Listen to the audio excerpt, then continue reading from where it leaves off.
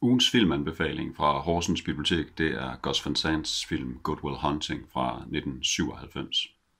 Jeg bliver hurtigt suget ind i historien om den her unge, charmerende og matematisk begavet, men også øh, småkriminelle øh, Will Hunting, som er spillet af en ung Matt Damon, og hans vej mod et bedre liv.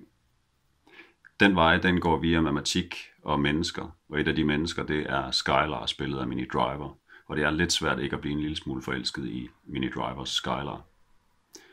Og så er der psykologen Sean Maguire, spillet af Robin Williams, i en fantastisk scene, der presser den livskloge og sørgende Sean Will til tårer. Og man kan ikke lade være med at tænke på, om de dæmoner, vi ser hos Williams i den scene, er de dæmoner, der senere slår ham ihjel i virkeligheden. En anden legendarisk scene, det er den, hvor Will Hunting han sætter en snobbet Harvard-studerende på plads. Øh, filmen den er godt hjulpet på vej af et fantastisk manuskript, som også vandt en Oscar. Det er skrevet af Matt Damon og Ben Affleck. Og så selvfølgelig af musikken, som er skrevet af Elliot Smith. For mig er den musik smeltet fuldstændig sammen med filmen. Lån den på biblioteket. God fornøjelse.